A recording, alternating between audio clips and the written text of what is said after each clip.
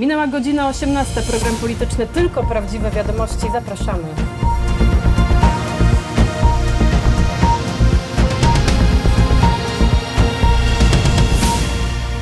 Amerykański miliarder ostro skrytykował polskie władze. Opozycja zawyła z radości. To kolejny przykład na ojkofobiczne DNA polskich elit. Jak długo jeszcze będziemy znosić uprawianie pedagogiki wstydu?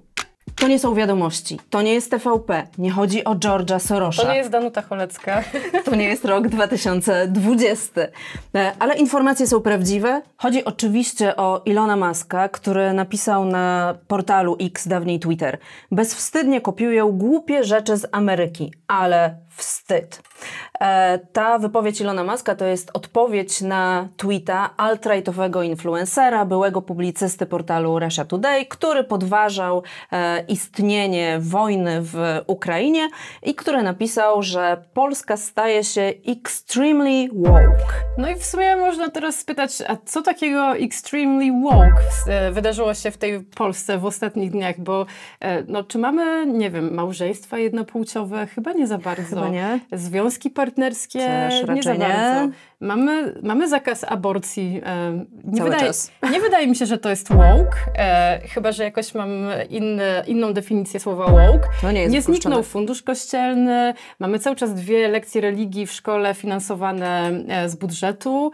Nie wiem, co jeszcze może być, e, co jeszcze może być extremely woke. No, stało się coś o wiele gorszego. Rafał Trzaskowski nie pozwala już wieszać krzyży w urzędach. Kilka dni temu ratusz opublikował wewnętrzne zarządzenie, które dotyczy przeciwdziałania dyskryminacji.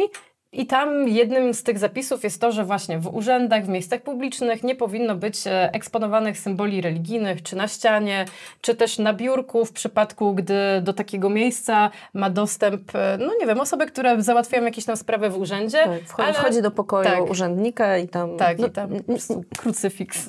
tak. No więc nie, Ale, więc już nie. już koniec z krucyfiksami na biurkach, ale tutaj warto zwrócić uwagę, że w tym zarządzeniu jest taki wyjątek, jeżeli ktoś ma jakiś, nie wiem, swój medalik e, dyskretny, tatuaż, to to może sobie zostać, bo to jest jakby, mieści się w tej jego ekspresji religijnej. Chodzi tylko właśnie o miejsca publiczne, urzędowe, takie, do których dostęp mają petenci, no, jakieś obywatele, obywatelki załatwiające sprawy w urzędzie. Nie ma e, zbyt wielu e, symboli religijnych w tych przestrzeniach publicznych. To są, to są wyjątki.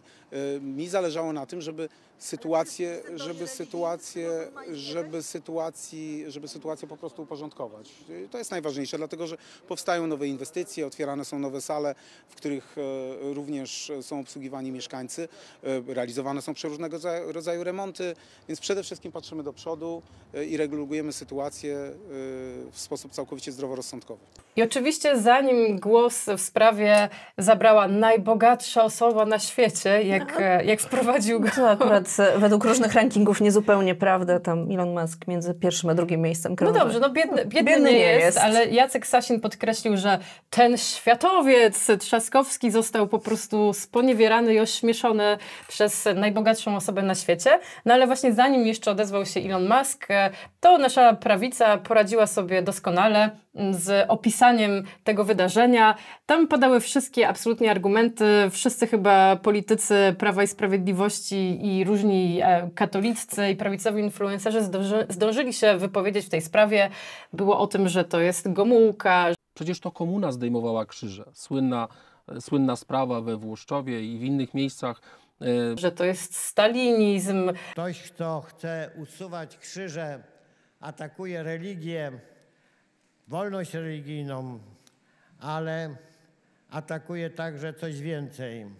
Atakuje naszą cywilizację. Tą cywilizację, którą lewica, szczególnie ta skrajna lewica, chce po prostu zniszczyć. To jest dzisiaj oczywiste.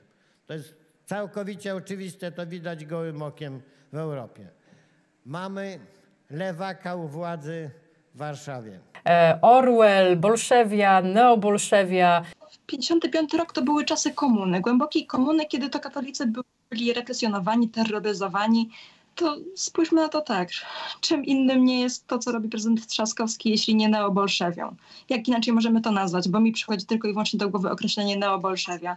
Tak, Trzaskowski idzie dalej niż e, zaborcy, że to jest prześladowanie już nie katolików, nie osób wierzących, tylko, Polski. I teraz jestem przekonany, że tą decyzją antychrześcijańską i w mojej ocenie em, antypolską, bo, bo krzyż to także tradycja i tożsamość Tak, to jest polska. nie- Po prostu całej Polski, która jak wiadomo jest e, katolicka i no, to, to jest oczywiste, prawda? Tak, Polska, i Polska jest oczywiście katolicka. Ordo Juris też w obronie Krzyża już zapowiedziało, że złoży sprawę w prokuraturze, że to jest przekroczenie uprawnień e, 231 kodeksu karnego, Łamanie konstytucji. łamanie konstytucji. łam- Petycja e, już powstała też w wszystko- tej sprawie. No po prostu e, awantura na cztery fajery. Tutaj oczywiście jest mnóstwo różnych rzeczy do odpakowania takiego prawnego tła tej decyzji Trzaskowskiego, ale przede wszystkim no, chciałbyśmy zwrócić uwagę na taką najbardziej oczywistą rzecz. E, On występuje tutaj jako właściwie pracodawca E, i mm, to, to nowe za zarządzenie dotyczące tych standardów w miejscu pracy jest tak naprawdę, wynika z przepisów. Tak? Jest w kodeksie pracy, mamy artykuł 94 2b i chodzi o to, że pracodawca ma przeciwdziałać dyskryminacji w zatrudnieniu, w szczególności ze względu na płeć, wiek, niepełnosprawność, rasę, religię, narodowość, przekonania polityczne itd. itd. I e, odsyłamy tutaj do bardzo fajnego wywiadu Antona Ambroziaka z e, rad, radczynią prawną e, Karoliną Kędziorą, która się no, od 20 lat właściwie zajmuje prawem antydyskryminacyjnym, robi szkolenia, prowadzi różne postępowania. No i ona mówi, że z orzecznictwa SN wynika, że pracodawca ma działać proaktywnie i tak organizować miejsce pracy, żeby unikać jakichś punktów zapalnych. Krzyż może być, czy w ogóle symbole religijne w miejscu pracy. Nie dotyczy to właśnie tych dyskretnych, że ktoś tam sobie powiesił medalik, no ale może być takim punktem zapalnym, więc to jest właśnie takie działanie z strony pracodawcy proaktywne. No ale to nie jest tylko kwestia właśnie prawa pracy. E, mamy całe, całe tło prawne wokół tego. No jest chociażby konstytucja, artykuł 25 przywoływana e, często, że władze publiczne w Rzeczypospolitej Polskiej zachowują bezstronność w sprawach przekonań religijnych, światopoglądowych, filozoficznych, zapewniając swobodę ich wyrażania w życiu publicznym. Jasne, więc ludzie mają swobodę, mogą wyrażać, mogą chodzić, nie wiem, na demonstracje różne katolickie, mogą chodzić do kościoła, no ale jednocześnie władze e, zachowują bezstronność, tak? Więc e, to jest w ogóle długa dyskusja o tym, czy krzyż powinien wisieć w Sejmie e, i tak dalej, no ale jeżeli właśnie władze miasta mm, podejmują taką decyzję, no to raczej ona jest wyrażeniem tego ducha konstytucji. Ale oprócz tego mamy jeszcze ustawę o gwarancjach sumienia i wyznania i artykuł 10 e, mówi o tym, że Rzeczpospolita jest państwem świeckim, neutralnym w sprawach religii i przekonań. E, więc e, tych przykładów prawnych uregulowań, nawet tej najwyższej rangi jest mnóstwo, mnóstwo, ale mamy też oczywiście orzecznictwo międzynarodowe. I teraz, już nie chcę Was strasznie zanudzać, ale jeżeli przyglądaliście się, przyglądałyście tej dyskusji wokół no właśnie wokół tego zarządzenia Trzaskowskiego, to często jest przywoływany ten przykład wyroku ETPC, Europejskiego Trybunału Praw Człowieka w Strasburgu z 2011 roku. Chodziło o włoską sprawę, kiedy jedna z matek e, no, zaskarżyła to, że w szkołach, e, w szkołach są krzyże i że to jest jakby naruszenie tej, tej zasady mm, świeckości edukacji. I to jest bardzo ciekawy wyrok, no bo on nic nie stwierdził tego naruszenia, że ta, że ta obecność krzyży wynikała tam z tradycji, to jest w ogóle jeszcze sięgająca XIX wieku tradycja. E, Ale o co tam chodziło? Chodziło o to, że oni badali, czy rzeczywiście tam dochodzi do jakiejś indoktrynacji, ale okazało się, że zajęcia nie są obowiązkowe, że nie ma jakiegoś przymuszania do religii itd., itd. Jednocześnie tam dosyć wyraźnie było stwierdzone w tym wyroku, mm, że e, to jest, e, to mieści się w gestii w ogóle władz, tak? Że władze mają pewien jakiś taki margines wolności w tym, jak chcą kształtować różne sfery publiczne i nie ma jakby co do zasady wśród państw członkowskich e, no jakiejś takiej jednomyślności. I druga rzecz, e, na którą jeszcze trzeba zwrócić uwagę, to to, że tam sprawa dotyczyła tego, e, że skarżono się na te krzyże już, wisz, już wiszące, tak? E, I stwierdzono, że to nie jest naruszenie, więc teraz jakby jeżeli te krzyże są zdejmowane decyzją no, tego pracodawcy, no to teraz oskarżeniem miałoby brzmieć, że narusza, brak krzyża w miejscu pracy narusza czyje, czyjeś przekonanie religijne i, nie wiem, e, wolność wyznania. No wydaje mi się to dosyć karkołomne. Równie mhm. dobrze można się no, zgłosić, że czemu w autobusie miejskim nie ma krzyża, że to narusza moją, moje przekonanie religijne. Mhm. No to się bardzo często pojawia w tej dyskusji, że właśnie tutaj e, Rafał Trzaskowski ubiera się w szaty wolnościowca, niby mówi, że daje wszystkim e, równy dostęp, walczy z dyskryminacją, że przez to, że tych krzyży nie będzie, to znaczy, że jedna religia nie będzie uprzywilejowana i wszyscy będą się czuli dobrze, no ale tak naprawdę, że to jest cenzura, bo ponieważ te krzyże już są, no to ten sam gest e, zdjęcia ich, no to już jest e, przeciwko wolności i to właśnie jest cenzura. No tak e, w tym duchu mniej więcej się wypowiada Szymon Hołownia, który mówi, ja bym nie wieszał, albo bym nie zdejmował, tak? Czyli powiesili, to niech wisi i nie zajmujmy się tym tematem. No ale właśnie, znowu wracamy do tego, że jednak ten, ten cały background prawny wygląda zupełnie inaczej. Już jakby kończąc ten wątek prawny, żeby was nie zanudzać absolutnie, są też wyroki Trybunału Sprawiedliwości Unii Europejskiej, które dotyczą, no właśnie, oczyszczania miejsc pracy z symboli religijnych.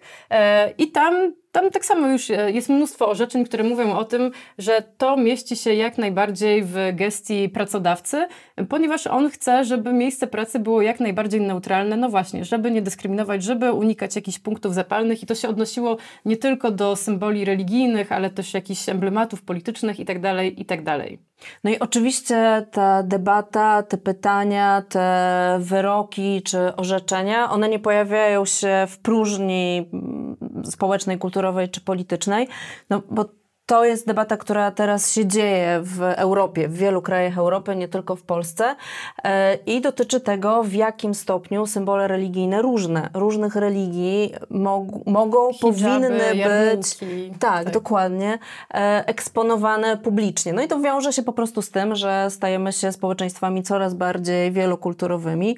E, również Polska już nie jest tak bardzo jednolita kulturowo, jak jeszcze była kilka kilka, kilkanaście, kilkadziesiąt lat temu. No i to jest też pewien praktyczny problem, e, który trzeba mm. rozwiązać. No właśnie, też jak się prześledzi to orzecznictwo ETPC, ono jest bardzo, bardzo bogate, tak jak właśnie powiedziałaś, że dotyczy i nie wiem, symboli religijnych Sikhów czy, czy, czy muzułmanów. Zresztą też często mm, jakby ETPC stwierdza brak naruszenia w tym momencie, kiedy na przykład pracodawca każe zdejmować te symbole religijne w przypadku, kiedy ktoś ma kontakt z klientem, e, a zwłaszcza chodzi, to dotyczy to funkcjonariuszy publicznych. E, mhm. Mogę przeczytać taki jeden fragment. E, ten akurat wyrok dotyczył e, kary za, zdjęć, za odmowę zdjęcia jarmułki w sądzie. E, wtedy doszło do naruszenia za to ukaranie, ale to dlatego, że to była osoba prywatna. Ale tam wtedy zaznaczył ETPC, funkcjonariusze publiczni w przeciwieństwie do zwykłych obywateli, takich jak skarżący, to chodziło o tamtą osobę, mogą podlegać obowiązkowi powściągliwości, neutralności oraz bezstronności, włącznie z zakazem noszenia symboli religijnych i ubrań wyrażających przekonania religijne podczas wykonywania publicznych obowiązków. Nie będziemy już głębiej wchodzić w te prawne kwestie, Uf, tak.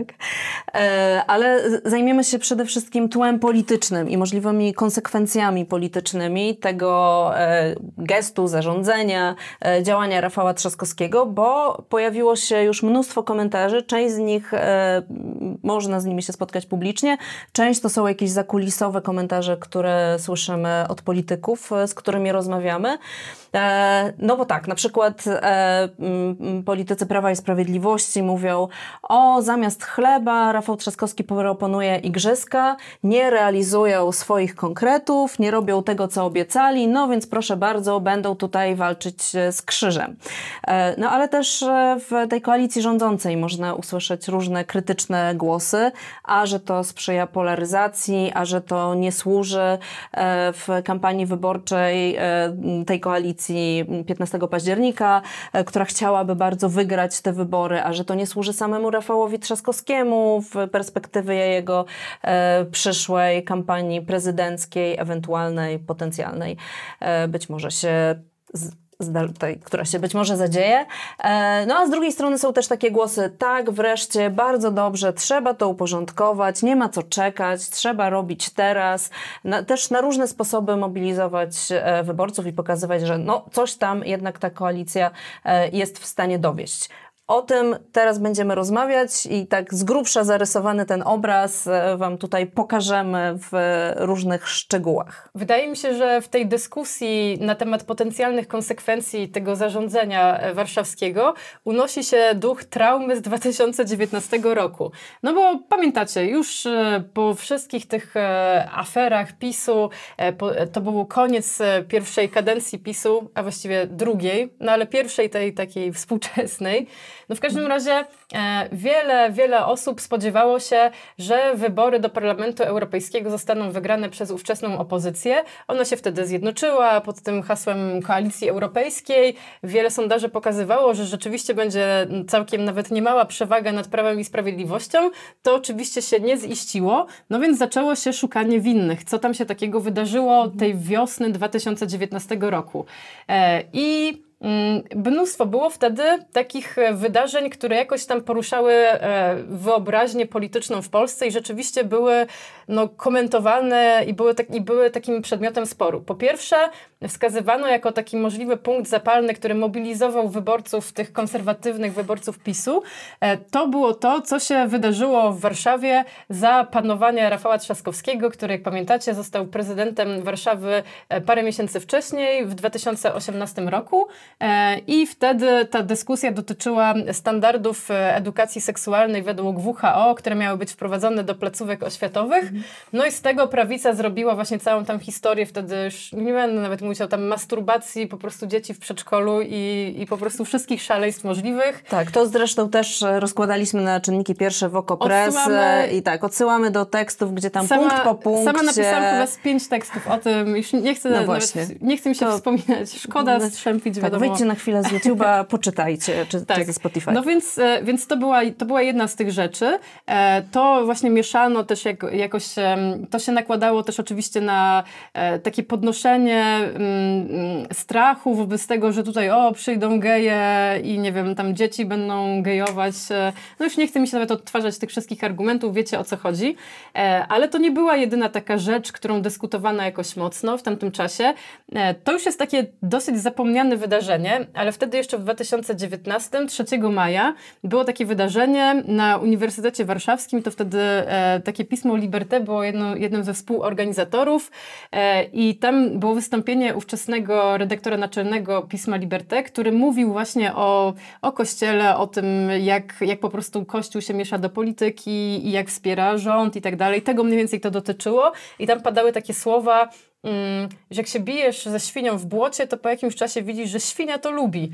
E, mm. I wtedy był jednym z, gości, jednym z gości, w pierwszym rzędzie w ogóle tam siedział Donald Tusk, Władysław Kośniak-Kamysz, no cała taka śmietanka e, polityczna. Mhm, e, by, byłam wtedy na uniwersytecie, w tej auli i no i szczerze mówiąc, e, jak Leszek Jażdżewski wygłaszał to wszystko, no to na sali zrobiło się, temperatura skoczyła.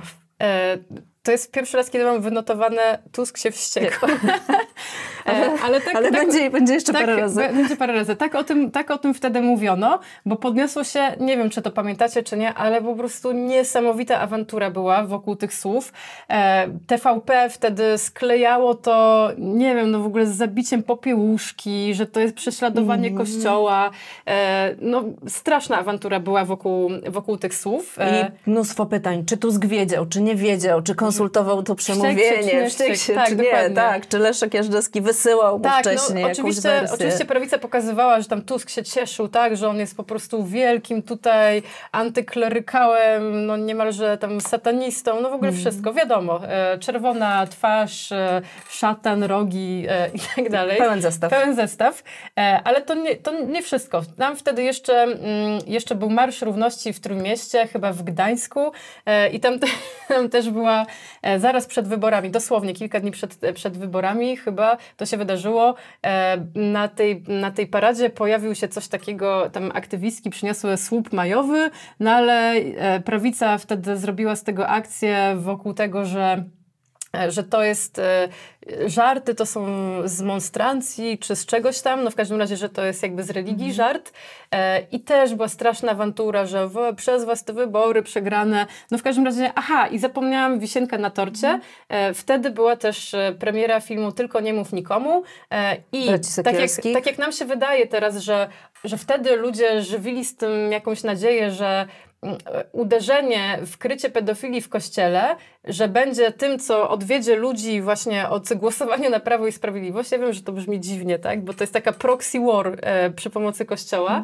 Ale wtedy też e, interpretowano to w ten sposób, że taki nagły atak i zmierzenie się z tym, że Kościół jest jednak instytucją, która ma dużo za uszami, że zupełnie odwrotną reakcję wyzwala ludziach, w ludziach, czyli właśnie zwarcie szeregów, e, obronę swojego stanowiska, wyparcie i że to była jedna z rzeczy, która paradoksalnie trochę, ale zmobilizowała jednak ludzi do tego, żeby właśnie, no bo wiadomo, pra Prawo i Sprawiedliwość atakują nasz Kościół, bardzo mocno szli w to, tak? W tę obronę właśnie Kościoła, że to jest po prostu jakaś tutaj e, neobolszewicka, e, śmierdząca akcja. Mhm. Przy, przynajmniej e, po tej stronie dzisiejszej koalicji rządzącej, e, wśród polityków, strategów jest takie przekonanie, że właśnie wtedy te wszystkie rzeczy, o których mówisz i te standardy WHO e, i przemówienie Leszka Jażdżewskiego i, i przede wszystkim premiera filmu Braci Sekielskich, że to spowodowało, że osoby z mniejszych miejscowości, z wsi, bardzo religijne,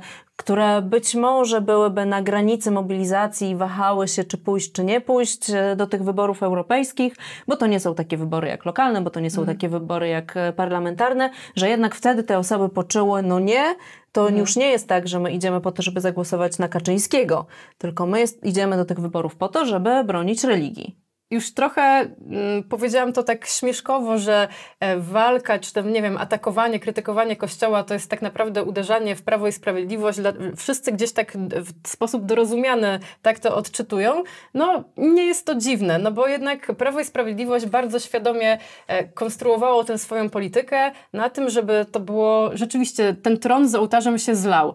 Partia, Kościół, Kościół, partia i to była miłość z wzajemnością właściwie. E, przypomnę sobie tylko, nie wiem, jakieś takie akcje, kiedy właśnie to Kościół popierał Prawo i Sprawiedliwość, no to chociażby wtedy, kiedy, nie wiem, potępiał strajki nauczycieli, tak? Nie miał absolutnie żadnego interesu, żeby to robić.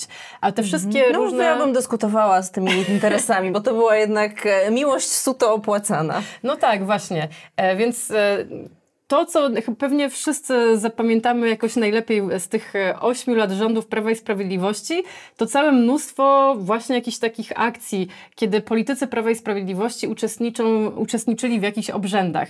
E, najbardziej spektakularne, no to były oczywiście, czy to intronizacja Jezusa Chrystusa na Króla Polski, to jest taki event z 2016 roku, cała śmietanka tam wtedy przyjechała, a ta intronizacja, no ona była przez wiele lat czymś bardzo kontrowersyjnym nawet dla episkopatu, jako takie absolutne zlanie się e, władzy świeckiej z państwową, która może wiecie, pog- gdzieś tam mm, dezawuować władzę tę właśnie taką religijną e, kościoła, nie? że to jest jakby jakiś taki upadek dla, dla autorytetu Jezusa jako, jako Boga, tak? No ale w każdym razie stwierdzono, że nie, w w 2016 już ta intronizacja jest ok. Całe mnóstwo różnych e, eventów w stylu e, zawierzania, to Mateusz Morawiecki zawierzył Polskę e, Maryi na Jasnej Górze, czy nie wiem, czy ówczesny w 2018 chyba to się wydarzyło. Ówczesny minister energetyki e, Krzysztof Tchórzewski zawierzył energetykę Matce Boskiej. Może odczytam nawet fragment tego. E, My, energetycy polscy, przynosimy do sanktuarium narodu polskiego nasze troski, radości, nadzieje. Przychodzimy pomni słów wypowiedzianych z krzyża, oto Matka Twoja. Zawierzamy Tobie, Maryjo, Jasnogórska Pani, wszystkie sprawy energetyki polskiej, jej bezpieczeństwo, rozwój, unowocześnienie, służby tysięcy naszych kolegów, na, na, na, na, na, na.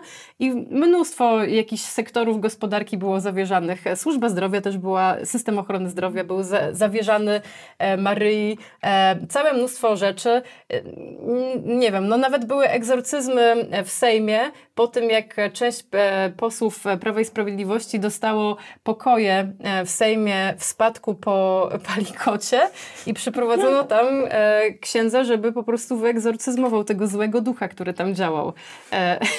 No tak, to są, to są takie mm, ludyczne i zabawowe elementy tego wszystkiego, no ale poza tak, tym ale... było takie bardzo regularne uczestnictwo urzędników państwowych, polityków najwyższych. W trakcie kampanii, w, w różnych... E, tak, oni, przemawiali, oni przemawiali też, jest mhm. mnóstwo zdjęć, oni przemawiali, albo byli wywieszani właśnie w kościołach, przemawiali w kościołach, po nabożeństwach i tak dalej.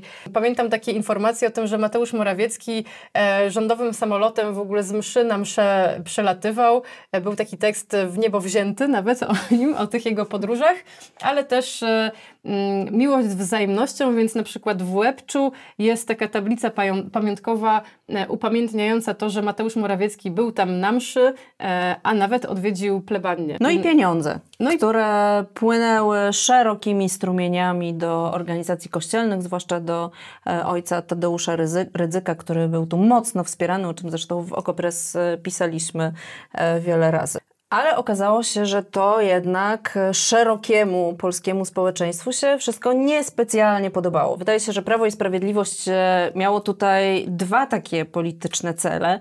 E, jeden to, żeby wśród tych osób e, najmocniej wierzących jakoś się osadzić i pokazać, my jesteśmy waszą partią i właśnie to, o czym mówiłaś wcześniej, kościół to partia, partia to kościół. Tak jak chodzicie co niedzielę do kościoła, to tak idźcie do kolejnych wyborów i wspierajcie wspierajcie Prawo i Sprawiedliwość Jarosława Kaczyńskiego, ale wydaje mi się, że chyba też było takie założenie, że ponieważ e, jak to się powtarza od lat, Polska jest katolicka, 90 tam ileś procent w Polsce ludzi deklaruje wiarę. To no to... na pewnego konia po tak, prostu. Tak, tak, dokładnie. Więc e, jak ty się pokażesz jako ten, e, ta katolicka partia, no to nie tylko utwardzisz ten twardy elektorat, ale też masz szansę, żeby się poszerzyć i rozbudować. No i to jednak się kompletnie rozjechało z tym, co się działo w społeczeństwie. Warto w tym momencie pewnie spojrzeć sobie w różnego rodzaju badania na temat religijności Polek i Polaków. Na przykład CEBOS bada od lat 90. stosunek e, Polaków i Polek do Kościoła katolickiego e, i jak jeszcze zobaczymy sobie w, na początku lat 90. oceny działalności Kościoła katolickiego, no jako dobre, tak 60, nawet do 70% badanych e, oceniało mniej więcej, negatywnie 30%. Tak w ostatnich kilku latach tam ta tendencja zaczęła się tak zbliżać bardzo mniej więcej w roku 2018-2019 a w okolicach 2020-2021 nawet były mijanki. E, czyli teraz mamy tak mniej więcej pół na pół, po 40 parę procent uważa, że dobrze ocenia, po 40 parę procent, że negatywnie, czasem więcej, czasem mniej. I okej, okay, może to nie jest tak, że nie wiem, że nagle 3 czwarte Polaków i Polek uważa, że Kościół katolicki źle postępuje, no ale jednak ta zmiana jest naprawdę zauważalna, a zwłaszcza ta zmiana w ostatnich paru latach. I to nie jest jedyny przykład, e, który pokazuje, że rzeczywiście coś się zmienia w społeczeństwie. Inny to jest na przykład spis powszechny. O ile jeszcze w tym spisie w 2011 roku 87% ogółu populacji deklarowało przynależność do wyznania katolickiego w 2021 roku, a te wyniki poznaliśmy no, jakoś jesienią, jesienią 2023. Ten odsetek osób, które deklarują, że przynależą do wyznania katolickiego, nawet nie mówią, że nie wiem, tam wierzą czy praktykują, ale on już spadł do 71%, więc to już nawet nie jest to słynne 90% Polaków to katolicy. E, a w liczbach, jak się spojrzy na liczby bezwzględne, to jest też ciekawe. E, wtedy 10 lat temu 33 miliony 700 tysięcy deklarowało się, że przynależy do kościoła. Teraz e, w tym 2021 to już było 27 milionów 600 tysięcy. To jest 6,5 miliona katolików wyparowało z tego kraju. E, więc e, myślę, że te liczby coś tam jednak mówią, a do tego jeszcze jest mnóstwo, mnóstwo badań, które potwierdzają no, takie makrotrendy. Instytut Statystyki Kościoła Katolickiego też prowadzi takie badania. To są ci ludzie, którzy e, co roku w październiku liczą, ile osób przyszło w każdej parafii do mhm. kościoła i ile, ile wzięło udział w komunii. I też jak sobie zobaczycie, to jest naprawdę głowa wybucha, jak to się zmienia od lat 80., kiedy ten odsetek, e, odsetek dominikantes, czyli tych osób, które są zobowiązane do uczestnictwa w mszy i rzeczywiście to robią, bo to też nie jest to samo co ogół populacji parafii, e, ale już nie będę tego wchodzić tak głęboko. No, to było mniej więcej 50% i teraz spadało, spadało, spadało, zwłaszcza w ostatnich latach dosyć gwałtownie spadało i teraz to jest tak 28-29%. Ci, którzy przyjmują komunię, to już w ogóle jeszcze mniej, tam kilkanaście procent w porywach. E, I mnóstwo jest innych badań, no chociażby kwestia religii w szkołach, to też tutaj można przywołać CEBOS, mm, że e, mm, jeszcze 12 lat temu w grupie 17-19 lat 93% badanych uczęszczało na lekcje religii. W 2018 to e, już było 70%, w 2022 54%. To się wszystko potwierdza z różnymi danymi, które pokazują gminy.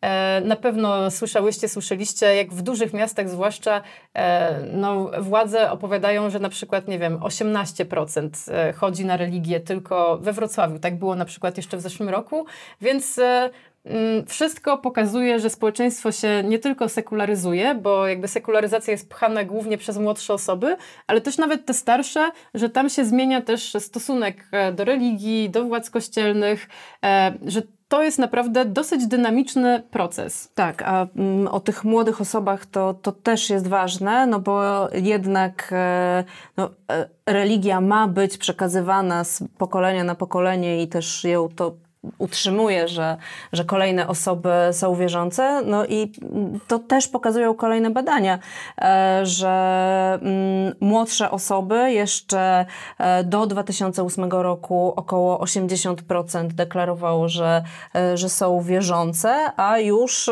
w roku 2018, czyli już w trakcie rządów Prawa i Sprawiedliwości, raptem 63%, hmm. czyli to jest znowu bardzo, bardzo potężny spadek. Jednym z takich najbardziej spektakularnych wydarzeń, które miały tło bardzo mocno antyklerykalne, były oczywiście strajki kobiet, bo wtedy jasno sklejono, że też Kościół katolicki był jedną z tych sił, które parły do zakazu aborcji, świętowali też w ogóle, jak ten całkowity niemal zakaz aborcji wprowadzono e, wyrokiem Trybunału Julii Przyłębskiej. E, I pamiętam, że wtedy wyciekły w mediach e, takie nagrania ze Szczecinka, na których widać, jak nastolatki kłócą się z księdzem pod kościołem. Jeszcze może ja jestem winna Oni nie powiedzieli, to... Dobra, wypier...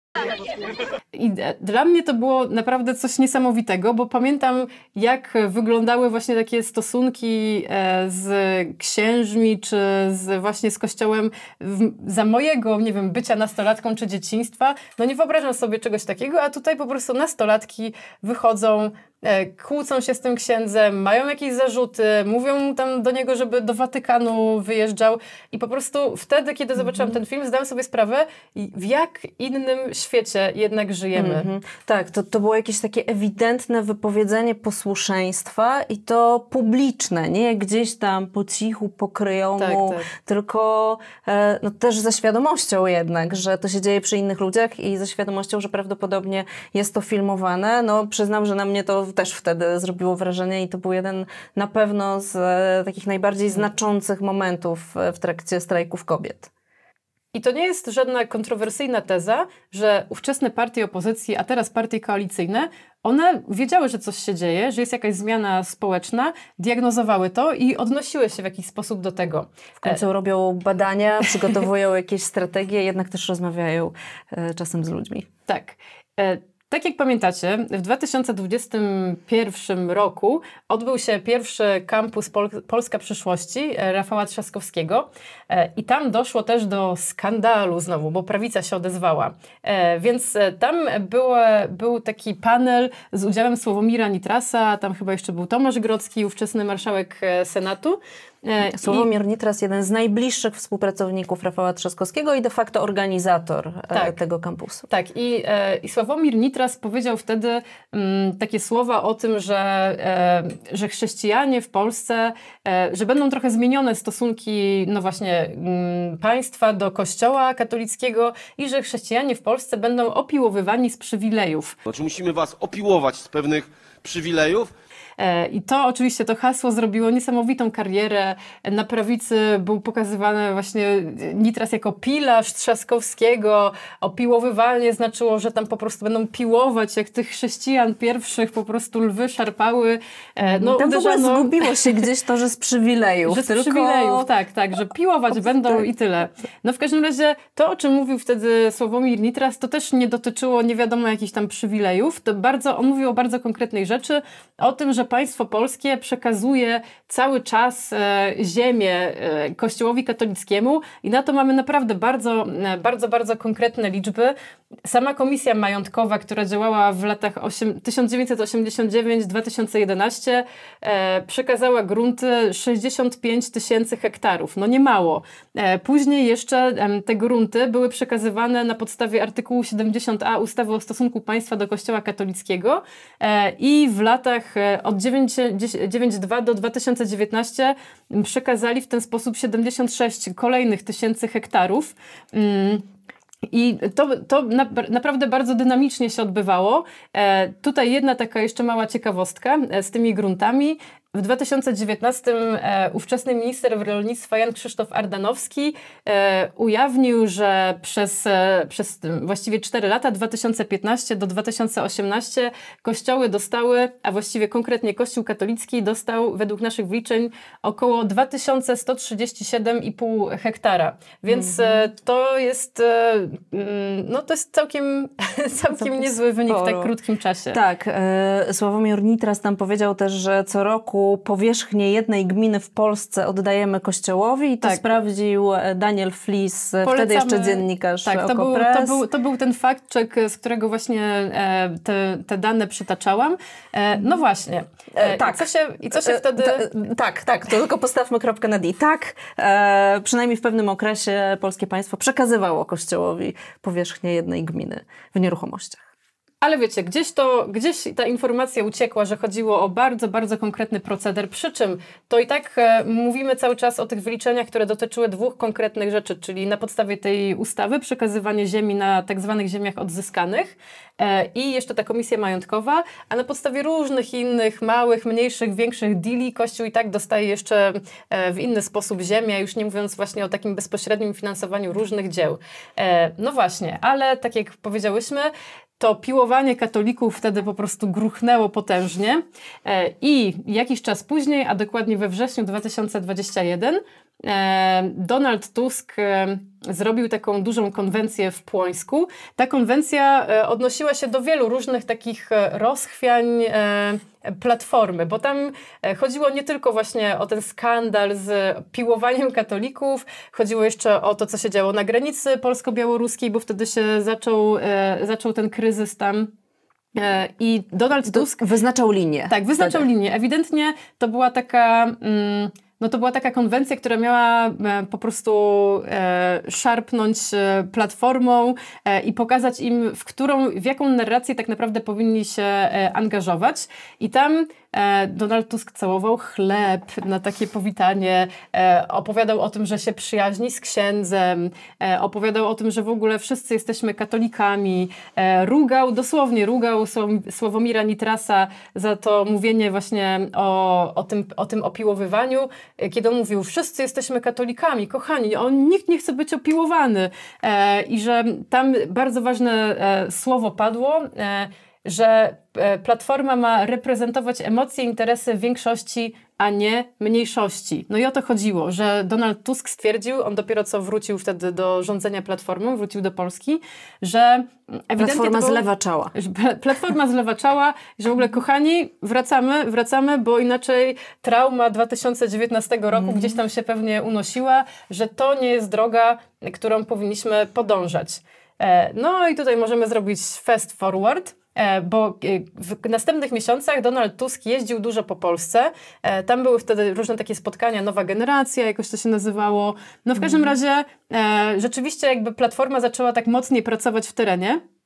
E, no i co się okazało? Tak, ja, ja wtedy rozmawiałam e, z politykami, polityczkami, którzy też jeździli z Donaldem Tuskiem, bo to nie tylko on, ale tam była taka ekipa, która e, rzeczywiście rozjechała się wtedy po Polsce. Wcześniej te osoby głównie jednak siedziały w Sejmie, bo tam mnóstwo się działo i trzeba było stopować te ustawy, które PiS wrzucał. Potem wyjechali w teren, zaczęli się spotykać z ludźmi realnymi, a nie zaprojektowanymi w swoich głowach. No no i co usłyszeli? Że ludzie przestają chodzić do kościoła, że dzieci przestają chodzić na religię, dzieci czy młodzież, że e, wcale im się nie podoba to, że widzą w telewizji tych polityków, e, którzy uczestniczą w mszach, że już wiedzą, że Kościół dostaje bardzo dużo pieniędzy od państwa, no i też, że skandale pedofilskie, no to jest coś, o czym się mówi, rozmawia i łączy z Kościołem. E, no i no jedna z osób, z którymi wtedy rozmawiałam, e, powiedziała mi, no ludzie, znaczy, że to jest właściwie najważniejszy temat, z którym mm. przychodzą ludzie. E, to jest właściwie coś, od, czego zaczyna się rozmowa. Czy wy zrobicie coś z tym kościołem? I w tym momencie Donald Tusk jako polityk, no taki, który naprawdę chce być tam rzeczywiście, gdzie jest serce większości. E, nie wiem, czy pamiętacie tak, takie jego zdjęcie z rodziną z 2013 roku, gdzie tam właśnie krucyfiksy, tabliczki, święte obrazki zrobił i po prostu Święta rodzina. zrzucił to wszystko ze stolika, no i nagle odkrył, jaki potencjał polityczny jest rzeczywiście w tym po prostu, w tej złości e, na Kościół i to, co, to, to w jaki sposób Kościół się zlał z partią i tak dalej. E, I to jest takie bardzo symboliczne wystąpienie Tuska z kolei w Radomiu w lipcu w 2022 roku, kiedy mówi... Czy panowie Kaczyński, Rydzyk, Jędraszewski, co oni wiedzą na miłość Boga o macierzyństwie, ojcostwie, rodzinie, seksie, łóżku, co jest? No jest to dosyć niesamowite. To nie jest nawet rok różnicy, tak? Od tego całowania chleba, kochani, jesteśmy chrześcijanami, co, co Jędraszewski, Jędraszewski, nie żaden tam arcybiskup, co on wie o seksie, o łóżku? No, no proszę was, kochani. No jest to niesamowita, niesamowita zmiana. To był y, lipiec, we wrześniu odbywa się kolejny kampus Polska Przyszłości. Znowu jest na nim Sławomir Nitras, który, tak jak mówiłyśmy, organizuje e, to wydarzenie. No i tam rozmawiałam wtedy ze Sławomirem Nitrasem, pytałam go o tę wypowiedź sprzed roku, która wywołała taką burzę, ale tak naprawdę pytałam go, e, no bo skoro już Donald Tusk powiedział, okej, okay, dobra, e, już nie rugam Nitrasa, już się zorientowałem, że... Już nie musisz e, całować tego chleba. Tak, tak, tak. E, no to jak rozumiem, jest przyzwolenie na to, żeby Platforma Obywatelska, czy szerzej Koalicja Obywatelska jakoś zajęła się tym kościołem w imieniu tych ludzi, którzy chcą, żeby to zrobiła. No więc pytałam wtedy Sławomira Nitrasa, okej, okay, to teraz konkret. Na czym ma polegać to opiłowywanie katolików e, od przywilejów? Co tak naprawdę chcecie zrobić? Jakie ustawy położycie na stole? Jak wygracie wybory, to jakie będą wasze kolejne kroki? No i wtedy Sławomir Nitras odpowiedział mi, ja tą moją wypowiedzią, trochę prowokacyjną, chciałbym się dowiedzieć, co moja partia z tym zrobi, żeby tę debatę rozpocząć, bo ja nie wiem.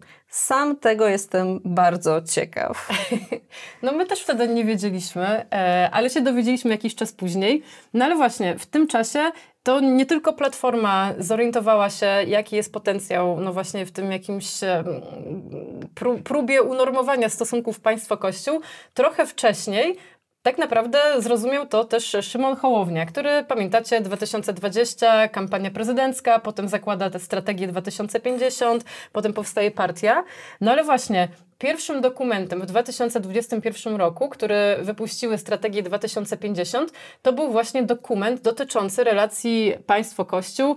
E, tam było to hasło, że one mają trafić na swoje miejsca. E, nie będziemy teraz znowu analizować po kolei, jakie tam były różne pomysły, e, ale chciałam Znów tylko... zrobił to Daniel Flis tak, w Odsyłamy. odsyłamy, polecamy, świetny tekst. Tak, ale, ale coś, co naprawdę daje do myślenia.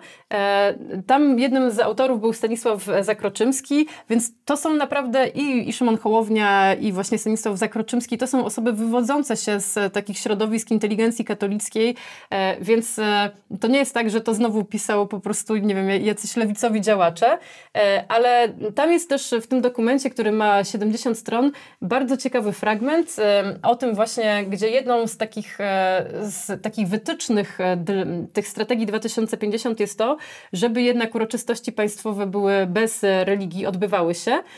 No i właśnie tam też taki punkt wyjścia, to jest bardzo ciekawe dla mnie, że on też wychodzi, wychodzą od tego, od tych takich gorszących scen, e, do których dochodziło e, no właśnie w trakcie rządów Prawa i Sprawiedliwości. I tam jest jako przykład e, podana msza w Toruniu przez tak zwaną rodzinę Radia Maryja organizowana. I w trakcie tych uroczystości tam był cały rząd, premier Mateusz Morawiecki zawierzał Polskę Matce Boskiej mm, i prosił ją, miej w opiece naród. Cały, również tych, którzy nie kochają Polski aż tak mocno, e, jeszcze póki co, tak jak my tutaj, tak jak cała rodzina Radia Maryja. E, no i właśnie to jest tak opisane z takiego, z takiego szczerego oburzenia. Nie dlatego, że już nawet, e, że to jest właśnie to przemieszanie porządków, ale że to jest e, oburzenie katolików, dla których to jest właśnie jakieś takie poniżenie ich ważnych symboli religijnych, że premier tutaj wykorzystuje ich do okładania, do okładania jakiegoś takiego swoich przeciwników politycznych. Drugim przykładem, jaki tutaj jest podawany, to jest z kolei homilia Jarosława Kaczyńskiego. Nie dobra, to nie, to nie była homilia, to było po mszy, ale też jakby w kościele. E, mm, to było po mszy w Starachowicach e, w ósmą rocznicę śmierci Jadwigi Kaczyńskiej i wtedy Kaczyński też opowiadał o tym, że zło atakuje nasz kraj, nasz naród i instytucję, która jest centrum naszej tożsamości, czyli Kościół katolicki. Po raz pierwszy przemawiam wewnątrz Kościoła, bo tam na zewnątrz stoją ci, którzy walczą w najgorszej sprawie i chcą go zniszczyć. E, no ale właśnie, to było, to było jednak takie bardzo symptomatyczne, że Szymon Hołownia że to była pierwsza rzecz, w której on tak e, mocno zabrał głos i chciał się pokazać, no patrzcie, ja mam rozwiązania, coś trzeba z tym zrobić. Oni po prostu rzeczywiście już wtedy też mieli te badania, rozumieli, że takie są oczekiwania. Tak, i myślę, że oni też bardzo dobrze wyczuli, że przynajmniej część tych osób, które e, tak mocno mówią, zróbcie coś z tym kościołem, to jednak są osoby wierzące, Tak, e, tak, ale tak. które chciałyby zachować religię dla siebie i które też e, e, mają takie poczucie braku szacunku dla ich religii, tego, że naprawdę to jest jakieś naruszenie, przekroczenie granic, e, że ten Kaczyński występuje w tych kościołach, wyciera sobie e, usta i kartę wyborczą kościołem, a oni jednak, dla nich to są pewne rytuały, dla nich to jest pewna tradycja e, i mm, no i myślę, że tutaj Szymon Hołownia akurat całkiem trafnie wyczuł, że mógłby takie osoby reprezentować. To też jest, też jest ciekawe, że Hołownia wtedy używał takich bardzo e, życiowych przykładów, e, bo nie tylko mówił, to jest, to, są, to jest z kolei jego wystąpienie ze stycznia 2023, nie tylko mówił o tym, że właśnie a, tu Rydzyk znowu dostaje tam setki milionów, nie wiadomo na co. On mówił też właśnie o tych przykładach, e, jak, nie wiem, jak wydzielano działkę ze Świętokrzyskiego Parku Narodowego, to Rada Ministrów o tym zdecydowała, później sobie Kościół tam, w sensie już jacyś oblaci misjonarze wykupili z bonifikatą 99%, więc super, świetny deal. super E, I, o tym, i, o tym, i właśnie, no i właśnie, Szymon Hołownia o tym wtedy mówił, że to jest jedyna działka w Polsce, która w ciągu tak krótkiego czasu staniała o 2 miliony. Wiadomo, jak wygląda ten mechanizm, bestialstwo prawne e, i tak dalej, i tak dalej. E, I później do tego nawiązywał, tak? Zderzał to z sytuacją po prostu zwykłych obywateli. Wyobraźcie sobie sytuację, w której zwykły obywatel będzie od państwa kupował ziemię, która jest mu potrzebna, żeby założyć firmę, zatrudnić ludzi, utrzymać rodzinę i że będzie dostawał tę ziemię z 99% bonifikatą.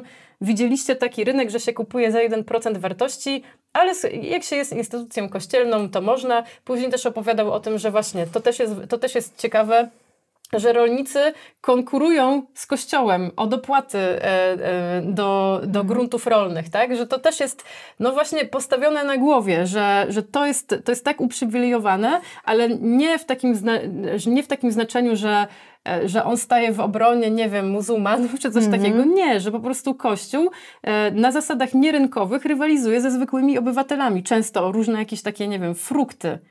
Też ten potencjał widział nawet PSL. Oni co prawda w swoim programie wyborczym, e, nie mówię teraz o programie Trzeciej Drogi, ale nawet w tym programie PSL-u z 2023 roku tam nie było e, żadnych jakichś takich właśnie postulatów dotyczących świeckiego państwa, ale to było coś, taki motyw, który przewijał się wielokrotnie w wypowiedziach Władysława Kosiniaka-Kamysza. To, jest, to będzie akurat e, cytat z naszego wywiadu mm, z 2022, E, kiedy Kosiniak-Kamysz mówił o tym, że ruch ludowy ma trudne doświadczenie z biskupami, z instytucją kościoła. Sam Witos był prawie ekskomunikowany. To nie znaczy, że zaprzeczamy naszej wierze, bo jej będziemy wierni. W sprawach wiary będziemy słuchać każdego wikarego, w sprawach polityki nie będziemy słuchać żadnego biskupa, biskupa i tym się różnimy od PiS. My chcemy wyprowadzić politykę z kościoła i być w kościele jako jego żywi członkowie. Na co my pytamy, czy antyklerykalizm ma potencjał dla PSL? To jest zjawisko zawsze dość silne na wsi. Wieś jest bardzo wierząca i jednocześnie mocno antyklerykalna e, i tak tak. Więc e, nawet dla PSL-u, nawet dla Władysława Kośniaka-Kamysza, który ma e, sesje zdjęciowe, e, jak się modli na mszy świętej Rity w kościele, przyjmuje komunię, więc bardzo, bardzo podkreśla swoją religijność. Jednocześnie, jednocześnie podkreśla to, że po prostu jest pomieszanie z poplątaniem, jeżeli chodzi e, o tę i ta nierównowaga e, sił w stosunkach Kościół-państwo. Mówiłyśmy o tych siłach politycznych, które zauważyły, że jakaś zmiana w społeczeństwie się dokonuje i że można politycznie to wykorzystać, a też wręcz, że trzeba po prostu e, uwzględnić oczekiwania obywatelek i obywateli. No ale jest jedna siła polityczna, która konsekwentnie od lat e, mówiła to samo i nie musiała, tak jak Donald Tusk, raz tak, raz siak, Nie musiała patrzeć w sondaże. sondaże tak, bo, bo jednak po prostu e, to uważa, to głosi, co więcej różne ustawy w tych sprawach zgłaszała, no to jest to oczywiście lewica, która zresztą e, zaraz po tym, jak e, Szymon Hołownia opublikował, czy, czy think tank Szymona Hołownia opublikował ten projekt rozdziału Kościoła od państwa, to właśnie na łamach Okopres Agata Diduszko-Zygleska i Joanna Szojring-Wielgus opublikowały taki tekst, w którym zwracają uwagę, że no, tutaj trochę ci, którzy nagle nawrócili się na odwrócenie się od Kościoła, to korzystają z różnych pomysłów i rozwiązań już wcześniej wypracowanych przez Lewicę.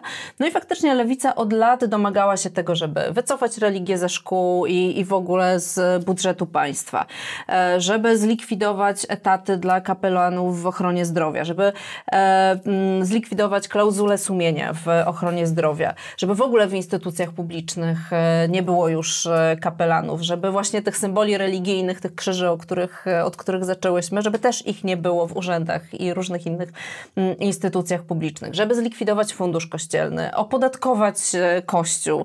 E, no i mm. też był taki postulat usunięcia tego mm, artykułu o obrazie uczuć religijnych z kodeksu karnego, który jak wiemy dość chętnie jest używany przez tak. polską prawicę. Słynna, słynna sytuacja o tym, o chłopaku, który przez ileś tam lat był ścigany za to, że nie zdjął, nie zdjął czapki w kościele, to też jest właśnie case ścigania ze 196. Tak, no właśnie. E, Lewica też domagała się powołania Komisji Prawdy i Zadośćuczynienia, czyli takiej komisji, która by jakoś całościowo podeszła do tych e, przypadków e, pedofilii w kościele i która miałaby doprowadzić do wypłaty odszkodowań na rzecz ofiar. No i też po prostu chciała e, wypowiedzenia konkordatu.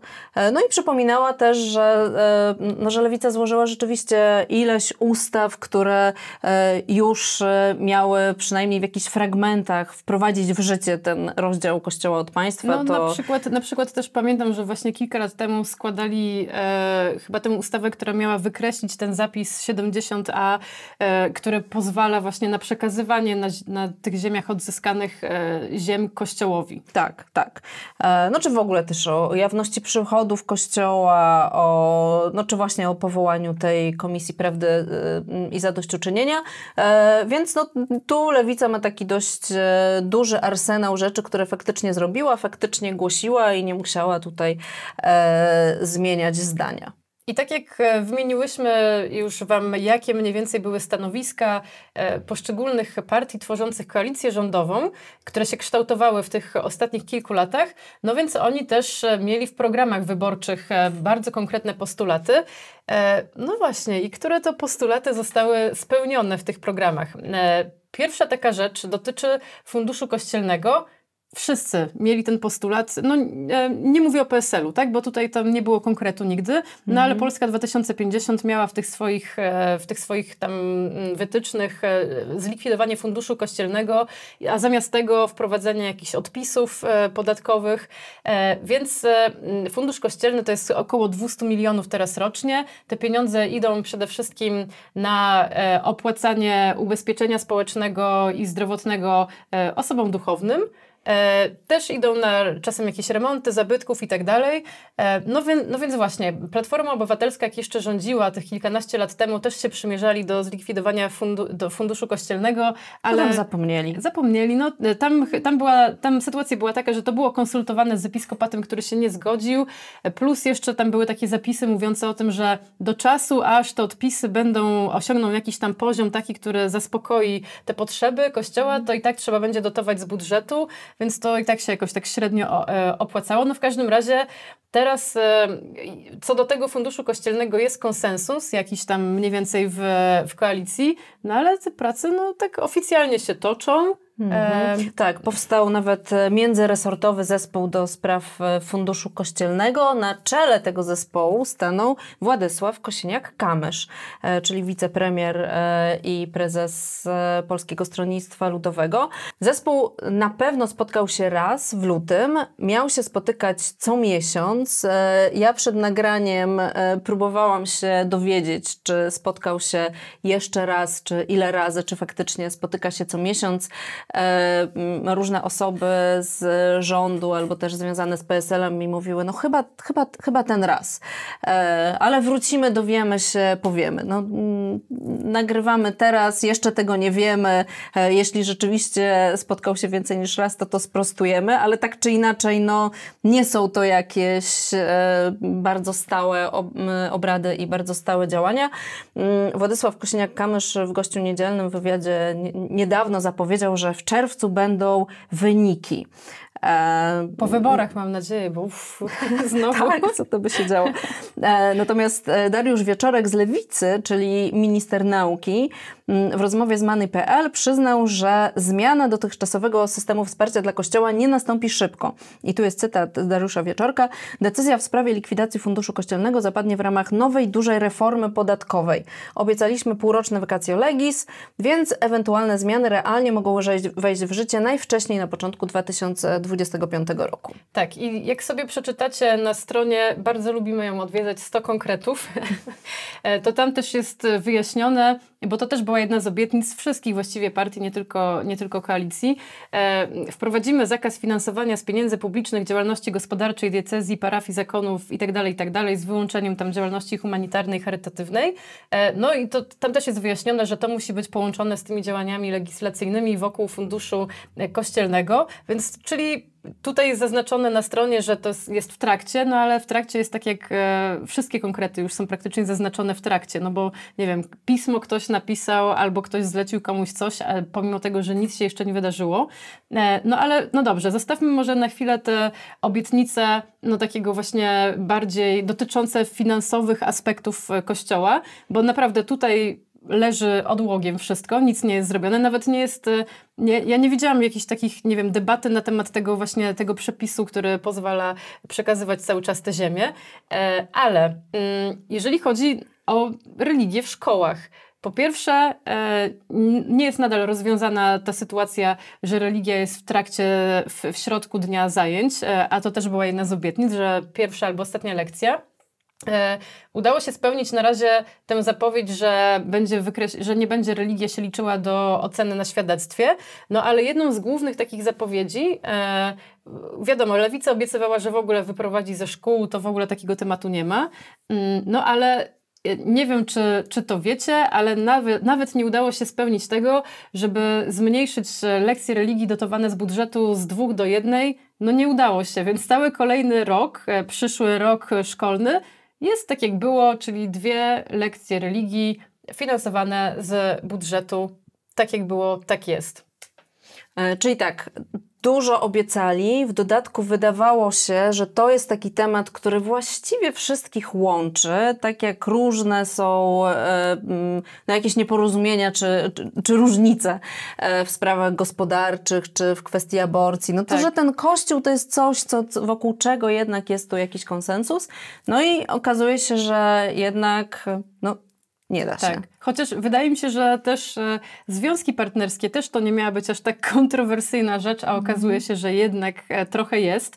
Ale właśnie, e, o ile, o ile ta sprawa dotycząca aborcji czy związków partnerskich, o tym się mówi, o tym jest głośno, że tutaj koalicja czegoś nie dowozi, jest jakieś e, ślimaczenie się, e, o tyle mam wrażenie, że jakoś tak e, osobiście też jakoś e, nie, nie myślałam o tym, że słuchajcie, no jakby tutaj było jednak naobiecywane e, i, i nic się nie dzieje właściwie w tym temacie, bo gdzieś te inne rzeczy się jakoś wybijały. No i Rafał Trzaskowski swoim zarządzeniem pokazuje trochę, że no tak naprawdę to jest jakiś taki najmocniejszy gest w stronę tego świeckiego państwa, wykonany nie absolutnie przez tę władzę, która, która wygrała wybory, w sensie utworzyła koalicję zwycięską po wyborach jesiennych, no tylko przez włodarza miasta. Mhm. No i teraz pytanie, czy to jest e, konsultowane, czy to jest coś, co no, na przykład Donald Tusk podpowiedział Rafałowi Trzaskowskiemu, mówi słuchaj, no naszemu elektoratowi na tym zależy, e, my tu nie jesteśmy w stanie, PSL staje okoniem, e, to jednak zrób coś i pokaż, że można. E, no to jest jakoś tam można sobie wyobrazić, chociaż no, No, może różne rzeczy tak, można różne sobie można sobie wyobrażać. wyobrazić, tak? E, Czy raczej jest tak, że Rafał Trzaskowski wykazał się tutaj inicjatywą, no w końcu jako e, prezydent e, najbardziej postępowego miasta, w którym jest taki najszerszy elektorat e, wspierający właśnie rządzącą koalicję i stwierdził po prostu, no ja mam wybory prezydenckie do wygrania, te ogólnopolskie. Muszę zacząć prowadzić te kampanie na poważnie, nie tylko publikować jakieś e, filmiki i robić e, Kampus Polska Przyszłości dla mm, jakiejś niewielkiej, zamkniętej grupy młodych ludzi. Muszę zrobić coś, co, e, o czym będzie się mówiło, co pokaże, że oni nie mogą, a ja mogę. Mm, no, coś, coś głośnego i co też coś zgodnego z przekonaniami mojego elektoratu, no więc bum. To jest jeszcze jedno ważne pytanie o relacje między Koalicją Obywatelską, czy też samym Rafałem Trzaskowskim, a Lewicą.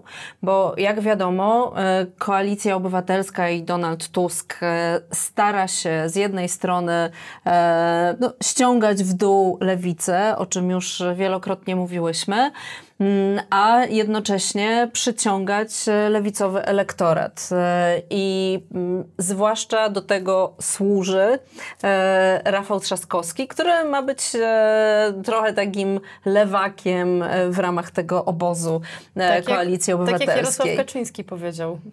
tak jak Jarosław Kaczyński powiedział. No właśnie. No więc być może jest tak, że ta akcja, już abstrahując od tego scenariusza dużo bardziej fantazyjnego, że to Donald Tusk e, tutaj coś kazał Rafałowi Trzaskowskiemu. No, te relacje tutaj nie są najlepsze Słuchaj, Rafał, między panami. Piłuj, piłuj. tak.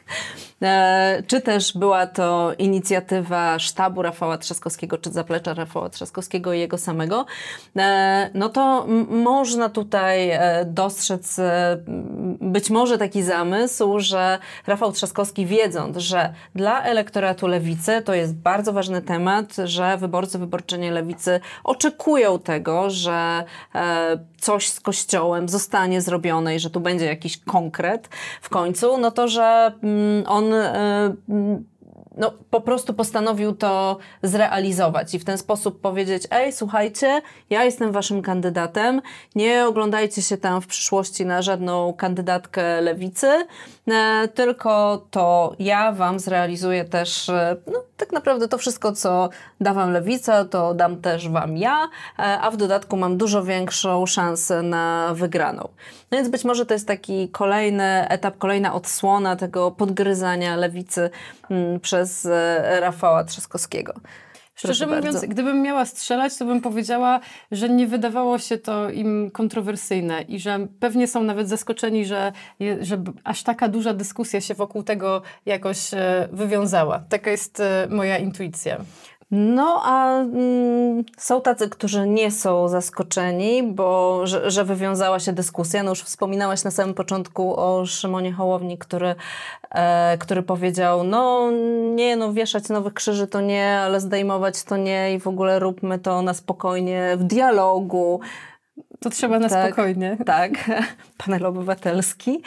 E, Nie, żebyśmy tutaj, czy przynajmniej ja, nie, nie żebym jakoś dewaluowała panele obywatelskie. Uważam, że to super fo- forma e, dyskutowania o zmianach i wypracowywania konsensusu. Mm, No ale mm, rozmawiałam e, o tym z politykiem PSL-u, co oni tam sądzą o tym ruchu Rafała Trzaskowskiego. No i on mi powiedział, to służy Prawu i Sprawiedliwości. E, Można się było tego spodziewać, że jak coś takiego zrobi Rafał Trzaskowski, to natychmiast podniesie się rejwach i te wszystkie głosy bolszewia, jak komuniści, zdejmowanie krzyży jak w latach 80., czy tam jeszcze e, 50., e, że to wszystko było do przewidzenia Mm, i, e, no i że to znowu będzie to, o czym mówiłaś wcześniej, rok 2019. E, tam jeszcze nie wspomniałyśmy o tęczowym Władku, czyli pokazywanie e, pokazywanie Władysława Kosiniaka-Kamysza w tęczowych kaloszach albo pod tęczowym parasolem, no bo skoro się znalazł w jednej e, koalicji europejskiej razem, no właśnie z, z Lewicą, To wiadomo, z Platformą Obywatelską, no wiadomo, że jest A tęczowym tęcza to przecież jest symbol spółdzielczości, jak wszyscy Tak, wiemy. jak wszyscy, wszyscy wiemy. E, znowu, tak, to jest symbol spółdzielczości. E, no, więc w PSL-u z kolei się, się właśnie obawiają tego, że to tak naprawdę zmobilizuje elektorat, ten konserwatywny, bardziej wiejski, e, ten e, taki twardy elektorat Prawa i Sprawiedliwości i że znowu będzie tak, że ci ludzie pójdą do tych wyborów, a, a ci wyborcy mm, rządzącej koalicji, no, którym właściwie no, to, to nie jest coś, za czym oni, zdejmowanie krzyża, to nie, to nie jest ta pozytywna obietnica, która, nadzieja, która by ich zachęciła do pójścia do wyborów, no więc po prostu przewalone e, kolejne wybory. To ja mam na to tylko jeden komentarz, na to, że po prostu przewalone wybory, mobilizacja e, elektoratu konserwatywnego. Jestem tak stara, że pamiętam jak w 2023 roku e, materiał TVN-u o tym, jak Jan Paweł II, wtedy jeszcze Karol Wojtyła, krył e, pedofilię w kościele w Polsce, że miała sprawić, że e, ówczesna opozycja przegra wybory. E, No, tak się nie stało i wydaje mi się, że jest duża różnica między 2019 a 2024 rokiem, ale oczywiście mogę się mylić. Mhm. To, to na to ci, ci zacytuję znowu wypowiedź e, tego polityka, z którym rozmawiałam, że to chodzi nie tylko o te wybory europejskie, e, tylko też o przyszłe wybory prezydenckie, w których weź, weźmie udział Rafał Trzaskowski.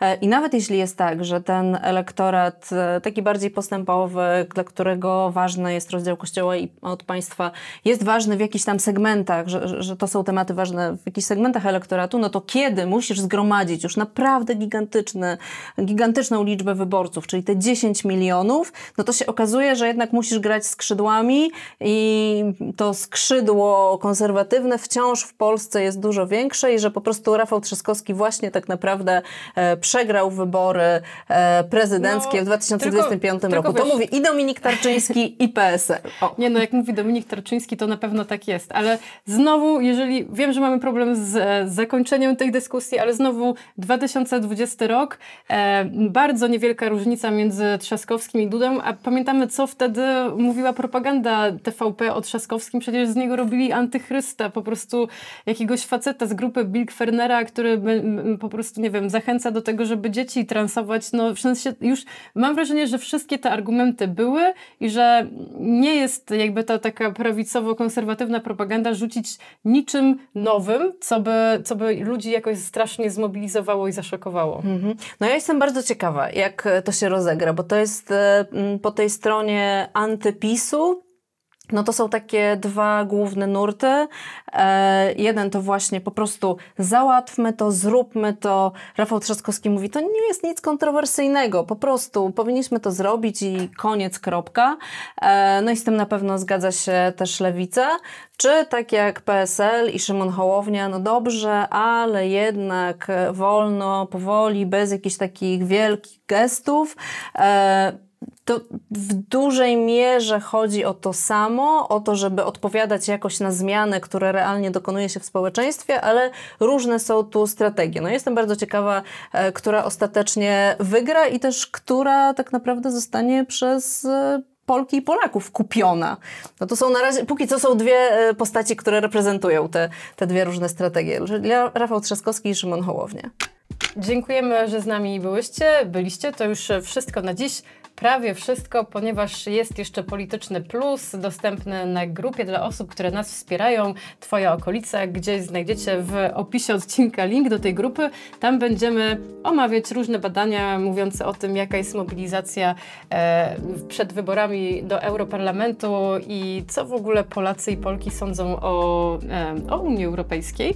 E, jeszcze też chciałyśmy Was zaprosić na live'a specjalnego 9 e, czerwca w wieczorem po ogłoszeniu wyników wyborów do Europarlamentu. Czyli tak jak po ogłoszeniu wyników wyborów samorządowych będziemy komentować, analizować, e, omawiać jakieś zaskoczenia, które miejmy nadzieję, że będą. No, ja, ja się boję zaskoczeń. A ja czekam na zaskoczenia. Lubię okay, niespodzianki. ładnie się różnić. E. tak, to, to, to jest wartość. E, to co? Dzięki za dziś. Do zobaczenia, do usłyszenia za tydzień.